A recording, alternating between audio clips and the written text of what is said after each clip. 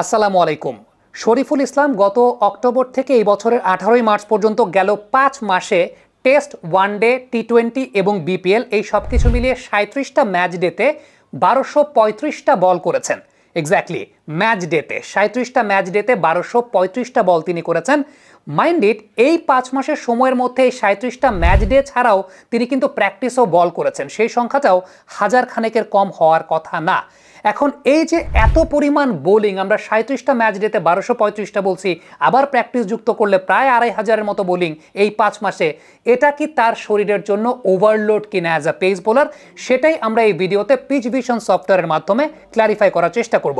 তার আগে বলে নিই পেস বোলারদের ওয়ার্কলোড ম্যানেজমেন্টের হিসেবটা কীভাবে করা হয়, তা হচ্ছে সেভেন ফোর টু মডিউলে তার মানে সাত দিনে এক সপ্তাহ, এই এক সপ্তাহের মধ্যে একটা পেস বোলার চার দিনের বেশি যদি বোলিং করেন সেভেন ফোর এই যে ফোরের কথাটা বলছি, চার দিনের বেশি বোলিং করলে তার ওয়ার্কলোড এক্সিড করে যাওয়ার সম্ভাবনা থাকে এবং সেটা দুই দিনের গ্যাপে অর্থাৎ দুই দিন বোলিং করার পর, এরপর গ্যাপ এরপর আবার দুই দিন, বিষয়টা এইভাবে নির্ধারিত করা হয়। তার মানে টানা দুই দিনের বেশি বোলিং করলে সেটাও ইঞ্জুরিতে পড়ার পসিবিলিটি থাকে এবং এই চার দিনের মধ্যে একশো সত্তরটার বেশি বল এক সপ্তাহে করলে যে কোনো পেস বোলারের ইঞ্জুরিতে পড়ার পসিবিলিটি বেড়ে যায় এবং সেই সঙ্গে তার ওয়ার্কলোড লিমিটটা এক্সিড করে যায়।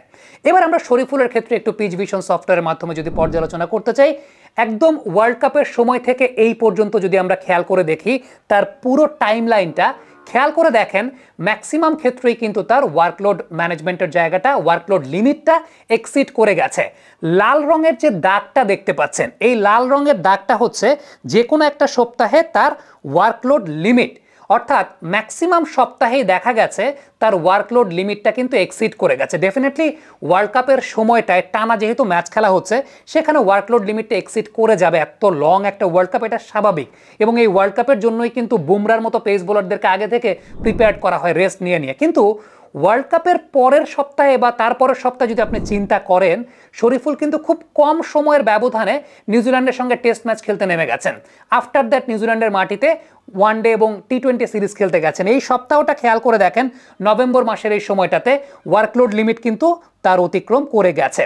এরপর তিনি বিপিএল খেলতে গেছেন। ডেফিনেটলি বিপিএলে কম সময়ের বোলিং চার ওভারের মতো বোলিং এই সময়টা তো অনেক রিল্যাক্স রেখে রেখে বা রেস্ট দিয়ে দিয়ে পেস বোলারদের খেলানো যায়। কিন্তু যখন আপনি টানা এতগুলো ম্যাচ খেলতে থাকবেন, তখন কিন্তু সেটা আপনার বডির উপর ইম্প্যাক্ট পড়ে এবং সেটা খেয়াল করে দেখেন ফেব্রুয়ারি মাসের দ্বিতীয় সপ্তাহে গিয়ে শরীফুলের ওয়ার্কলোড লিমিটটা কিন্তু ক্রস করে গেছে এবং ফেব্রুয়ারি মাসের দ্বিতীয় সপ্তাহ থেকে এই মার্চ মাস পর্যন্ত প্রায় পুরো সময়টায় একটা সপ্তাহ বাদে শরীফুলের ওয়ার্কলোড লিমিটটা ক্রস করে যাওয়া।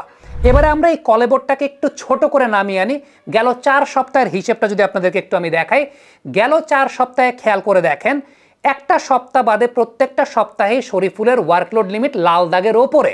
তার মানে একদম ষোলোই ফেব্রুয়ারি আগে থেকে, অর্থাৎ চোদ্দোই ফেব্রুয়ারি থেকে যদি আমরা শুরু করি, আঠারোই মার্চ পর্যন্ত, শুধুমাত্র একটা সপ্তাহ, খেয়াল করে দেখেন, সেটা হচ্ছে পহেলা মার্চ থেকে সাতই মার্চ পর্যন্ত যে সময়টা, এই সময়টাতে ওয়ার্কলোড লিমিটের নিচে তার বোলিংয়ের পরিসংখ্যানের জায়গাটা। আদারওয়াইজ প্রত্যেকটা সপ্তাহে ওয়ার্কলোড লিমিটের উপরে বিশেষ করে আপনি যদি চিন্তা করেন, এই যে পনেরো থেকে আঠারো, এই যে তিনটা দিন, পনেরোই মার্চ থেকে আঠারোই মার্চ, এই সময়টাতে কিন্তু তার ওয়ার্কলোডটা অনেক বেশি মাত্রায় এক্সিড করে গেছে। এখন এগুলো কিন্তু আমরা শুধুমাত্র ম্যাচ ডের হিসেবে বলেছি।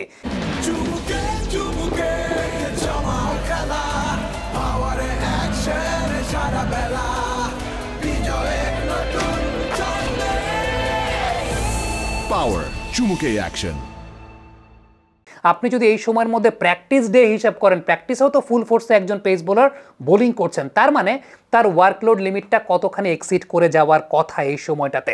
সো শরীফুল যেহেতু আমাদের একদম প্রাইম বোলার তিনি তিনটা ফর্মেটে আমাদের প্রাইম বোলার এই বছর টি টোয়েন্টি বিশ্বকাপের বছর। তার ক্ষেত্রে কিন্তু খুবই কেয়ারফুলি হ্যান্ডেল উইথ কেয়ার হওয়া উচিত আমাদের। এবং খুবই কেয়ারফুলি তার ওয়ার্কলোড লিমিটটাকে ম্যানেজ করা উচিত। এই জায়গাটাতে আমরা মনে হয় এই সময়টাতে অনেকাংশে তার উপর প্রেশার ক্রিয়েট করেছে। আপনি যদি ওভারঅল নাম্বারটা চিন্তা করেন সাঁত্রিশটা ম্যাচ ডেতে বারোশো পঁয়ত্রিশটা বল এবং খুব কম সময়ের ব্যবধানে পাঁচ মাসের মধ্যে এই জায়গাটা কিন্তু খুব ইম্পর্ট্যান্ট একটা জায়গা ছিল যে ওয়েদার বিপিএলের সময় তাকে যদি আমরা ডেফিনেটলি ঢাকা অনেক কম ম্যাচ খেলেছে, তারপরেও কিন্তু তার ওয়ার্কলোড লিমিটটা ফেব্রুয়ারির সেকেন্ড উইকে গিয়ে অনেক বেশি মাত্রায় এক্সিড করে গেছে এবং তারপর জাস্ট ইমিডিয়েট আফটার দ্যাট শ্রীলঙ্কার সঙ্গে T twenty one day series আবার টেস্ট সিরিজ খেলতে নামবেন শরীফুল। সো এই জায়গাটায় কিন্তু একটা চিন্তার জায়গা অবশ্যই আছে। প্রথম আলোর একটা নিউজ দেখেছি শরীফুলকে নিয়ে শঙ্কা আছে। আমার তো মনে হয় শঙ্কার চাইতো শরীফুলকে এই টেস্ট সিরিজে অন্তত একটা টেস্ট তো বিশ্রাম দেওয়া উচিত। এবং এই টেস্ট সিরিজের পরে আমার মনে হয় জিম্বাবুয়ের সঙ্গে একটা সিরিজ আছে। সেই সিরিজেও শরীফুলকে আসলে খেলানো উচিত না। কারণটা হচ্ছে তার ওয়ার্কলোডের জায়গাটা এখন তাকে খুব রেস্ট দিয়ে দিয়ে খেলানোটা। কারণ দিন শেষে শরীর তো বডি তো। এই জায়গাটা পেস বোলারদের ওয়ার্কলোড ম্যানেজমেন্টের জায়গাটা আমার কাছে মনে হয় খুবই ইম্পর্টেন্ট যে জায়গাটায় আমরা হয়তো বা খুব বেশি চিন্তা করি নাই শরীফুলকে নিয়ে, কিন্তু চিন্তা করাটা খুব জরুরি। আমার কাছে মনে হয় যে কোচিং স্টাফ রয়েছে এই কোচিং স্টাফে অনেক অভিজ্ঞ কোচেরা রয়েছেন, তারা ব্যাপারটা অবশ্যই দেখবেন এবং সেটা দেখাটা আসলে খুবই গুরুত্বপূর্ণ। Thank you